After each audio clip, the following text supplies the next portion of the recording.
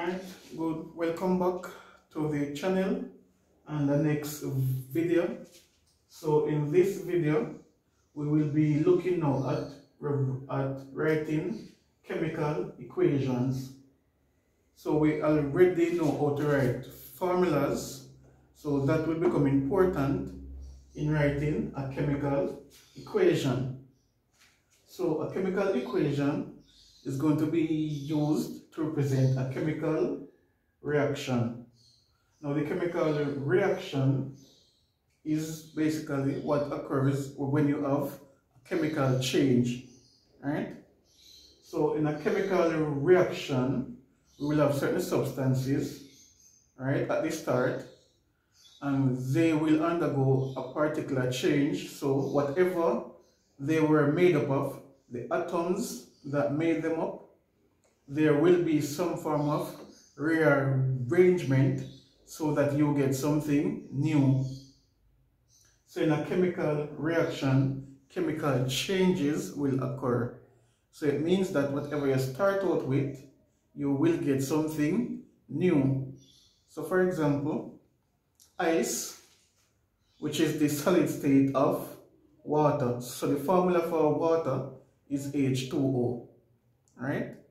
If you have ice and you melt it, it becomes liquid. But that is still H2O. There was no rearrangement of the atoms. You did not get something new. All you did was change the state from solid to liquid. So that would not be a chemical reaction. Again, in a chemical reaction, you will have chemical change taking place. So a second example now, if you have glucose, right? So if you do biology or any form of life science, you will know about respiration. And we know that glucose is used to obtain energy. So the glucose, when we say we get energy from glucose, glucose is broken down in a process called cellular respiration. And that glucose is converted into carbon dioxide and water. So unlike the case with ice, where you melt it and get the liquid, but the composition is still the same, H2O, with glucose, as you can see, the composition is not the same at the end. So you start out with glucose, it reacts with oxygen, right? So the glucose does not stay as glucose at the end. At the end of the reaction, you have carbon dioxide and water. So that would be a chemical change because at the end of the process, you got something new. So in, the, in a chemical reaction, you will have substances at the beginning now whatever is at the beginning of the reaction, we will call them our reactants, right? So the reactants are at the start of our reaction. Now that can be elements, molecules, or compounds, right? So we have our reactants. They will undergo some form of change, right? So the atoms, so the molecules at the start of our reaction molecules, elements, whichever substance is at the start, right, they will interact with each other. And through that interaction, the, the atoms, there will be a rearrangement of the atoms. So we end up with something new, right? So basically, in a chemical reaction, reactants are converted to products, right? You start out with reactants and whatever new substances that is produced is called the products. So chemical reaction, substances interact with each other to form new substances. The new substances are the products, right? So in some chemical reactions, a molecule can break down. For example, this is glucose right? Glucose can break down to give you carbon dioxide and water. in other chemical reactions, molecules can combine. So, carbon dioxide and water can combine to form glucose. Right? That process is called photosynthesis. So when we're going to look at chemical reactions, there are several specific types of reactions that you will have to know. Right? So these two examples was just to introduce you know, to write an equation. So since I didn't know what a chemical reaction is, right, what are we going to use the equation to do? So the chemical equation is used to represent a chemical reaction. So these two are examples of a chemical equation. Now, in your equation, what your reactants will always be on the left hand side of an arrow. So if you notice, we have plus signs here and an arrow. Now the arrow is used to separate the reactants from the products. So whatever is on the left side of the arrow, that's your reactant. And whatever is on the right side of the arrow, that is your product. Now, the plus sign on either side, on either side of the arrow means two different things. So on the left side, it means that glucose is reacting with oxygen. So the plus sign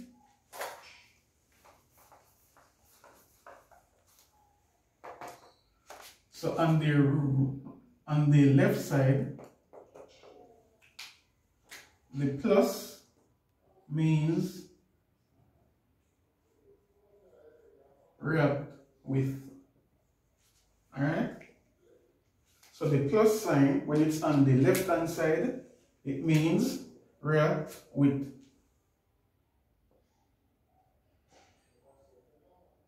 So this would be saying that glucose reacts with oxygen or carbon dioxide reacts with water.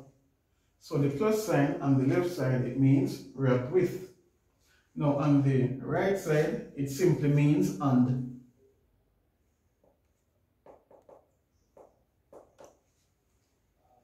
On the right side, your plus sign, it means and. That's it. It stands for and. That means you are going to say glucose reacts with oxygen. You will get carbon dioxide and water. The arrow to produce. So glucose reacts with oxygen to produce carbon dioxide and, and water. Alright? So the chemical, so our equation is used to represent a chemical reaction. So the chemical reaction was glucose reacting with oxygen to give you carbon dioxide and water. So you should be able to convert a statement in a chemical equation, a worded equation. So I would say that glucose reacts with oxygen to produce carbon dioxide and water you should be able to write the chemical formula for everything that is taking part in the reaction and whatever is produced. Right? Now, I'm going to introduce you to the different types of chemical equation and how you will be able to know what will be present at the end of the reaction. Alright? So, we're going to look at specific types of chemical reactions now.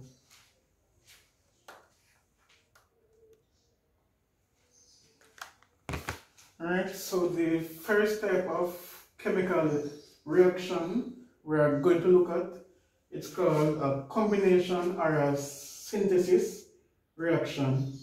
So in a synthesis reaction, you are going to combine two or more substances to get one product. right?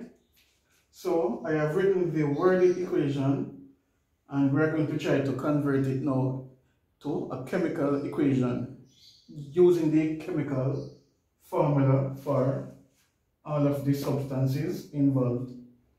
So we have magnesium plus oxygen and that will produce magnesium oxide. Alright, so one more thing we're going to introduce to our equation is what we call state symbols.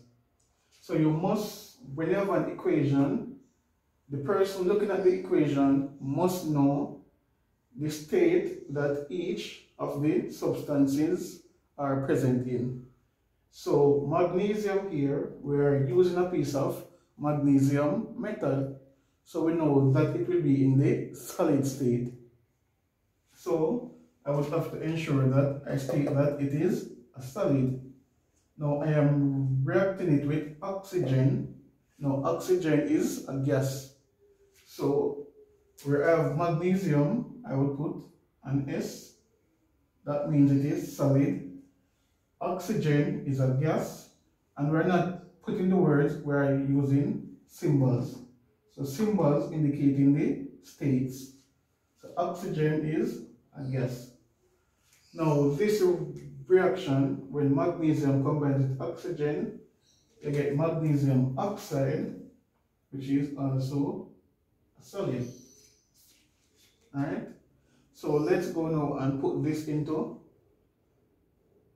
chemical form using the their formulas. So magnesium, we know this symbol for magnesium is Mg, right? It is, we're using the metal, so it is a solid. So you put the S, subscript S. The plus means react with. So we are reacting magnesium with oxygen. Now we know that oxygen is a diatomic gas. So you cannot put O because it is O2 and it is a gas. So magnesium reacts with oxygen to produce so to produce magnesium oxide. Now do not combine magnesium with O2 and write MgO2. Do not write MgO2 for magnesium oxide. That is not the formula. So you're not just combining what you see at the start. So you're not going to say Mg plus O2 to give MgO2. That is incorrect. When you react magnesium with oxygen, the product is magnesium oxide. So you need to write the formula for what is produced. So you need to write the formula for magnesium oxide. So during the reaction, right, the magnesium at the end, it will not be an atom of magnesium, it will be the ion. And the oxygen, as you can see here, it says oxide. So you won't have the molecule of oxygen, but you will have the oxide ion. So the magnesium ion and the oxide ion is what gives magnesium oxide. And from writing formulas, you know that when the chart, when the numbers at the top are the same, they will cancel each other. So if these cancel out, you are just left with MgO, right? So this is magnesium oxide. So don't combine MgO2 and write MgO2. That is not correct. As you can see, you are producing magnesium oxide. If you work out the formula for magnesium oxide, you will see that magnesium oxide is MgO, is MgO and not MgO2. So if you are doing a synthesis reaction, don't just combine it, right? Look at the name of the product and write the name for the product. So magnesium oxide is MgO and not MgO2, right? and you would put the state symbol for it. So,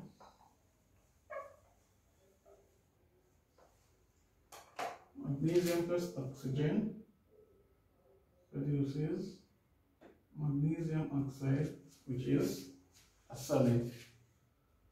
So that's one example. Now, when any metal, any metal that reacts with oxygen will give you the metal oxide.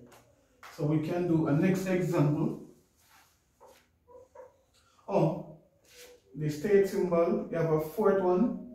So whenever you have a solution, we use the symbol AQ, which is for aqueous, right?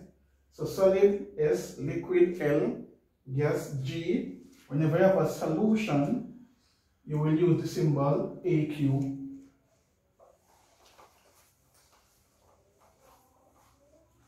So, a next example, if we have so on, by the way, this reaction, this equation, we will do two things you have to know to write the equation first and then how to balance it. But this video, we're just focusing on writing the equation. Because as you can see, you have two oxygen here and one here. And you might wondering what happened to the next oxygen. Alright, so in our next video, we will come back to these equations and balance them. So let me just do this one, but I will explain how to do it in the next video. So if I have two oxygen here, I will put a 2 here. When I put the 2 here, it means I also have 2 oxygen now. Alright? So 2 oxygen on this side, 2 is on this side. 2 magnesium. Alright? But don't worry about this. I will show you how to do it and explain it in details in the next video. But when this equation is balanced, this is how it will look. But all we're doing for this video is writing chemical equation. And next video will be for balancing the chemical equation. Alright? So, all we're doing is focusing on writing the equation for this video. So next one now, if you have sodium metal reacted with oxygen gas. So remember these now, once you study the rules, you will know what to get. Once you react a metal with oxygen, you get the metal oxide. So sodium plus oxygen, you will get sodium oxide. So again, what are you going to write? You can pause the video and work it out. Alright? So you have sodium and oxygen. As I said before, do not combine them like Na. Don't just write NaO2. Right? You are going to get sodium oxide. So sodium plus oxygen, you will get sodium oxide. Now sodium oxide, remember, over here it's the atom of sodium, but when you form the compound, it will consist of the sodium ion and the oxide ion. So this is why you must know the formula for your ions. So sodium is Na plus and the oxide is O2 minus. So you will get Na2O, right? I did a video on writing formulas, so I will not explain all of this. Alright? So sodium oxide is Na2O. And again, you are going to get a solid. Alright? So these are two examples of combination. But the specific one is metal with oxygen.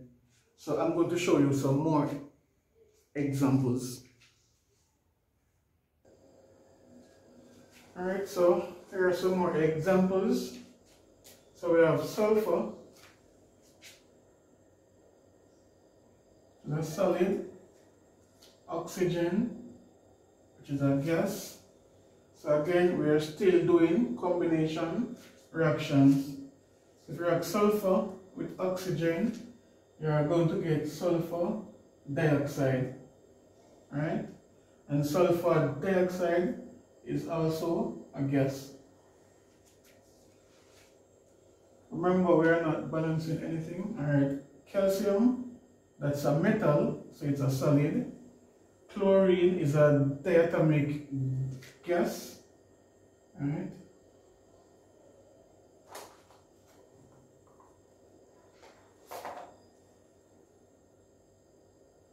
And so we're going to get calcium chloride. You can pause and work out the formula for calcium chloride. So just like with oxygen, when you combine a metal with chlorine, you will get the metal chloride. So if it's calcium, you get calcium chloride. If it was magnesium, magnesium chloride. So metal with oxygen, you get the metal oxide. If it's the metal with chlorine, you get chloride. So it's the calcium ion combining with the chloride ion. So we get calcium chloride and that is a solid. Alright, so ionic compounds. Alright. Again, iron, that's a metal. Rock with sulfur.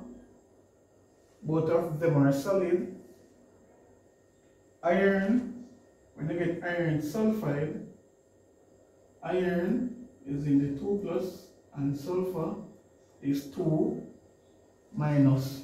So you get iron sulfide. Right? And then the last one, it's sodium, metal, and solid, reacting with nitrogen gas. Nitrogen is also a diatomic gas. So you need to remember the diatomic ones.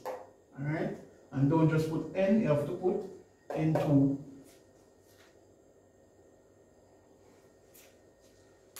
So again, just like we. So when you combine the metal with the particular gas, right? So the ion for chlorine is the chloride ion. The ion for oxygen is the oxide ion. So the ion for nitrogen is the nitride ion. So that means we are going to get sodium nitride. Sulfur is the atom. When you get the, in the compound, it will be in the ion form. So it's not sulfur, it is sulfide. So this is iron 2 sulfide. Because you can have iron 3 as well. Now this is sodium nitride.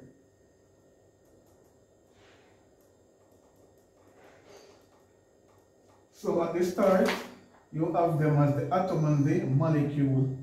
But when they combine with each other, they will it will be the ions that are combined. So again, by now you should know that it will be the sodium ion. So you start out with the atom, but in the product, sodium nitride, it will be the sodium ion.